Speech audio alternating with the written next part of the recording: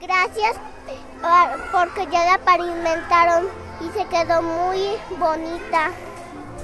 En esta calle casi no se podía circular, en el sentido de que eran unos baches pero hondos. Este, darle gracias a las autoridades, principalmente este presidente municipal David Velasco Chedraui.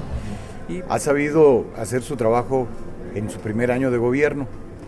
Ha estado bien con los inversionistas, bien con los empresarios. Eh, pues la calle estaba muy fea. Después metieron el drenaje y yo últimamente la banqueta. Y la verdad era un problema porque salían limpios de la casa y llegaban a su escuela sucios. Me parece una buena construcción, creo que le ayuda a los jóvenes que vienen niños, alejarlos de las drogas,